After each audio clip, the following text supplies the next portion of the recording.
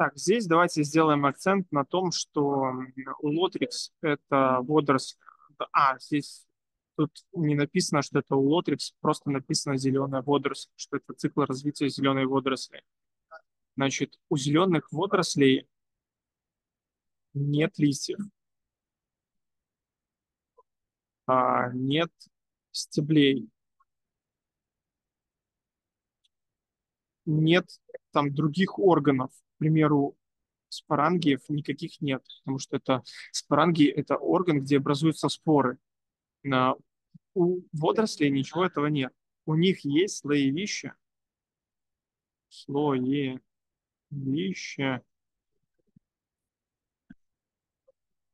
или талом. Талом и слоевище – это слова синонимы это такое скопление клеток, которые приобретают определенную форму, и они не имеют органов и тканей. Все понятно.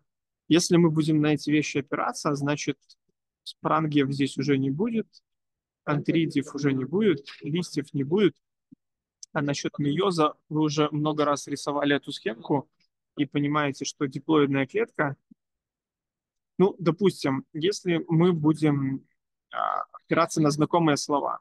Вот гаметы, оплодотворение, зигота. Вы там рисовали, что вот зигота, потом идет зародыш, потом идет спорофит, спорофит. С помощью миоза образуются четыре споры, да? А вот есть зигота и есть споры. Значит, можно сразу написать миоз, то есть тут должен быть миоз это сто процентов споры, потому что из споры развивается вот он гаметофит, написано. То есть если вы будете смотреть не только на, допустим, одну единственную какую-нибудь схемку типа диплоидная зигота, а смотреть комплексно и если, допустим, здесь гаметофит, то кто идет дальше? То есть если вы это понимаете, всю картинку рассматриваете, а не только вот эту вот часть, да, смотрите на всю картину. Тогда вы будете знать, что отвечать. Так, у Лотрикс это зеленая водоросль. И мы здесь много не будем рассматривать про, про Лотрикс, потому что его убрали из программы. Допустим, такие вещи, что у него флоропласт виде незамкнутого поиска раньше надо было помнить, сейчас нет.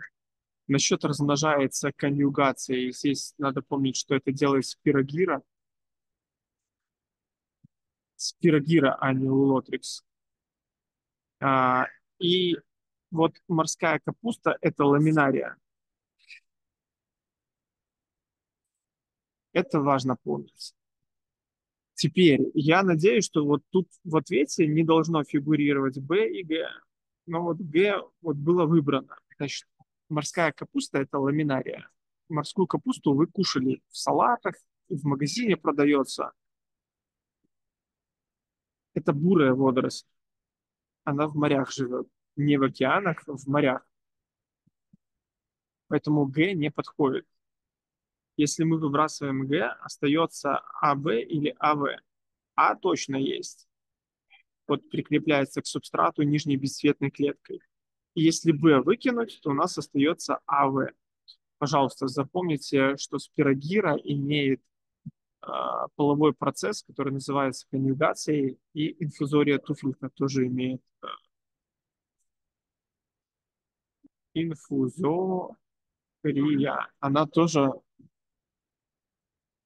имеет конъюгацию, половой процесс. В отличие, поехали здесь, в отличие от эвглены зеленой, у вольвакса и инфузории туфельки есть светочувствительный глазок, стигма. Ну, у инфузории нет.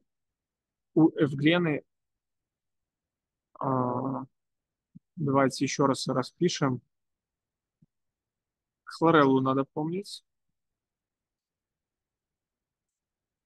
и хламидомонаду. Хламида монада.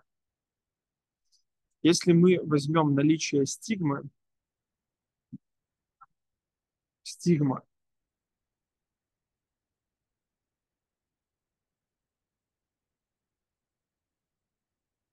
Так, стоп.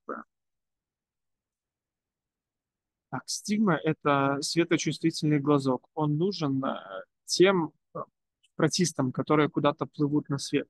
На свет не куда-то плывут, а на свет плывут. То есть хламида монада, она имеет два жгутика, и у нее есть светочувствительный глазок. Хлорелла никуда не плывет. У нее нет светочувствительного глазка. Вольвакс просто напишу, что не имеет, но сейчас его убрали из программы, и пока про него ничего не спрашиваю. Вопросы по накатанной пока остались. Это, это те протисты, которые относятся к растениям. Из животных есть инфузория, есть амеба, и есть эвглена зеленая. Эвглену зеленую тоже минусанули из программы, убрали. А, Эвглена зеленая имеет один жгутик, и она имеет светочувствительный глазок. Тоже. Инфузория и амеба их не имеют. Но Эвглену убрали, поэтому насчет светочувствительного глазка надо запомнить, что он только у хламида.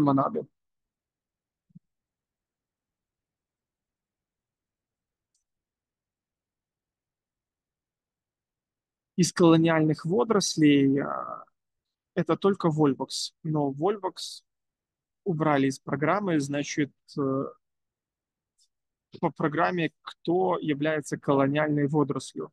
Никто.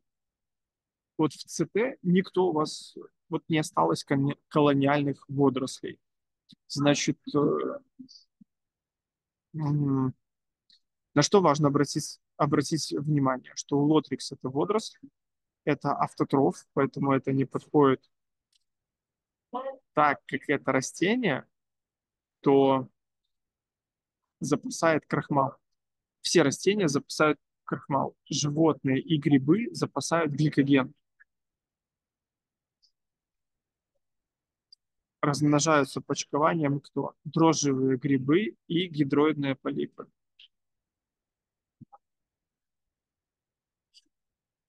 Дальше идем. Эвглену зеленую от хлореллы.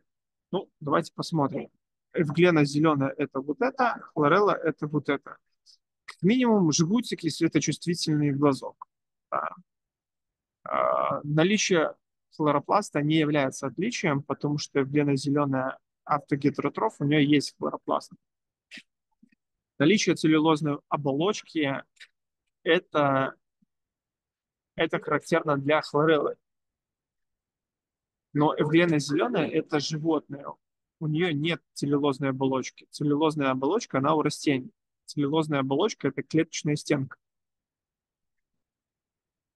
Вот передвижение с помощью жгутика, видим жгутик, способность к гетеротрофному питанию, одноклеточная структурная организация и там, и там есть, поэтому в этом разницы никакой нету и бесполое размножение путем спорообразования. Давайте напомним, кто что как размножается. О, так, значит, хлорелла размножается только спорами, только споры. Хламидомонада и спорами, и гаметами. То есть она как вот цикл спорофит-гаметофит, она вот точно так же умеет. Вот можно этот цикл наложить на хламидомонаду, и будет все вот, все вот так вот подходит, в общем. Инфузория. Клетка делится на два. Амеба. Клетка делится на два. Эвглена зеленая клетка делится на два. Все эти способы – это бесполый способ размножения. Почему бесполый? Потому что нет половых клеток половые клетки не, размножа... Э, не образуются, когда э, клетка делится на два. Логично. Правильно? Вот тыкните плюсики, если тут все понятно.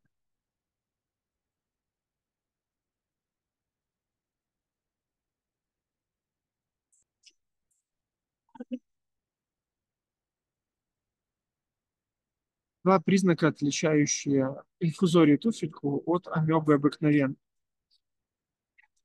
Значит, э, вот у нас инфузория, вот у нас амеба. Бесполое размножение – это что-то общее для них, да? Гетеротрофный тип питания – это тоже общее. А, стигма есть у эвглены зеленой и у хламидомонады.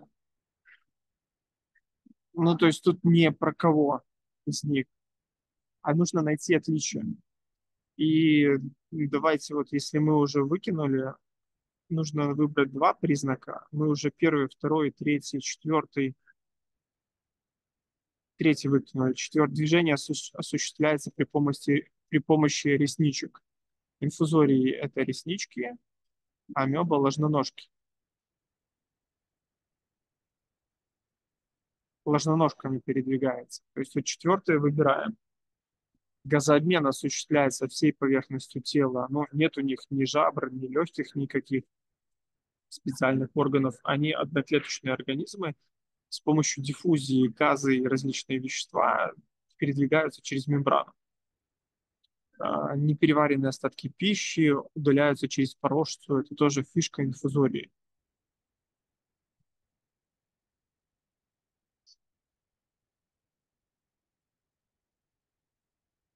Строение инфузории, если что, где порожца, ну, потом надо будет открыть учебничек. Покажу, где это. Здесь тоже этот вопрос разберем и в учебник немножко залезем. Значит, если это миоз, значит, это споры, не гаметы. Гаметы будут вот тут. Плодотворение зигота. Зигота это цифра 4. Зародыш это, ну, допустим, вот здесь антеридия архигония не будет, а вот зооспоры, вот они. Почему они зоо? Потому что они жгутики имеют. На этом все по вопросу.